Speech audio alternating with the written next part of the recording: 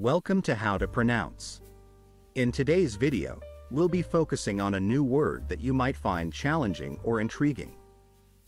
So without further ado, let's dive into today's word, À propos. which means regarding or concerning. Let's say it all together. À propos. One more time. À propos. Now let's split the word into syllables and then pronounce each syllable one by one. À propos. Thank you for joining us on this adventure in pronunciation. Remember, language is a journey, not a destination. Keep exploring, experimenting, and expanding your linguistic horizons. We'll see you next time.